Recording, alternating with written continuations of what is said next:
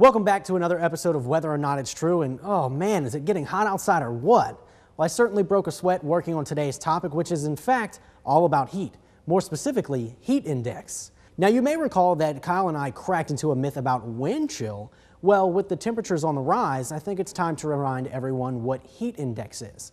Let's go outside and see what people think about heat index. I showed them this, which is an equation for calculating heat index. What do you think that is? I believe it's a very, very large math problem for calculating the, the humidity in the air. That's really close. I give you my best. All right, so what if I told you that that was heat index? Oh, the humidity affects like how hot it feels. Clay Ostarly does the best weather on the planet. Well, I'm flattered, and thank you for watching, Peggy, but heat index truly has nothing to do with me. Heat index is the common term used for the feel-like temperature during the summer. It considers both air temperature and relative humidity.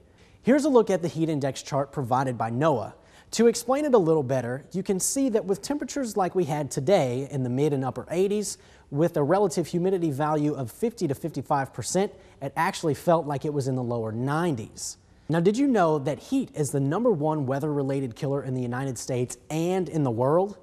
The reason that heat index is so dangerous is because with higher heat index values, the body loses its ability to evaporate sweat.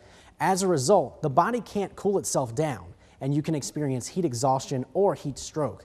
To protect yourself from the heat, we typically recommend that you avoid outdoor activities during the direct sunlight hours, between 10 a.m. and 4 p.m. If you do have to be outdoors, then wearing loose-fitting, light-colored clothing can help you promote cooling and reflect the sun away from you. Remember that kids, the elderly, and pets are more vulnerable to heat, so make sure you keep an eye on them. And most importantly, stay hydrated by drinking plenty of water. Well, that's all the time that I have for this week. I'm forecaster Clay Ostarly, and tune in next week as I answer for you whether or not it's true.